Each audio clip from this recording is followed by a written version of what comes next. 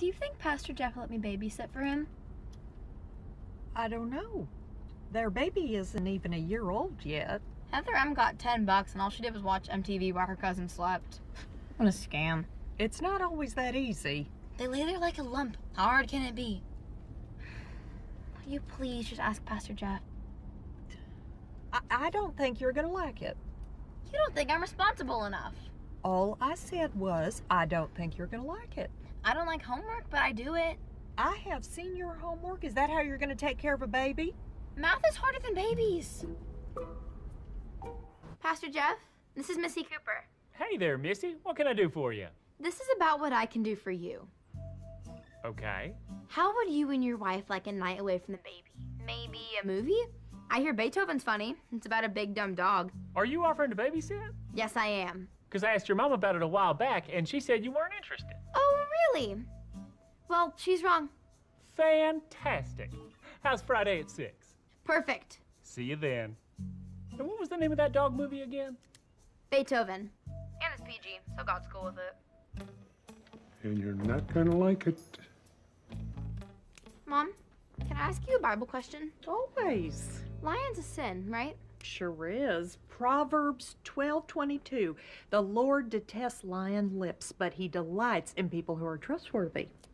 Does it say anything specifically about lying to your pastor? Did you lie to Pastor Jeff? No, but you did. I did not. You told him I wasn't interested in babysitting. No. I said I didn't think you were interested, which technically was not a lie. Why don't you trust me? Because you can't even remember to take out the trash. I remember, I just don't do it. And for your information, Pastor Jeff hired me to babysit this Friday. He did. He did.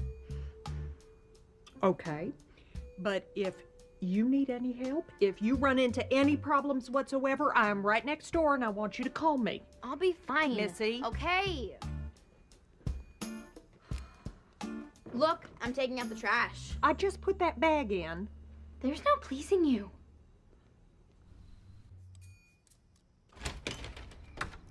Hey, Dad around?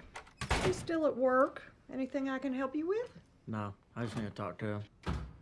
I am never doing that again. Is the baby okay? Yeah? What's going on? Babies are the worst. That's what's going on. She babysat for the first time. And the last time. Oh, I'm, I'm sure it wasn't that bad. Look at this food, powder, vomit, pee. You don't want to know. You should have called me. When? I didn't have a minute to myself.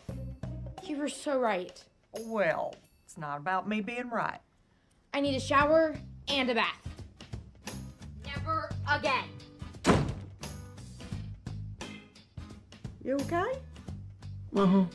Never again. I hope you enjoyed that as much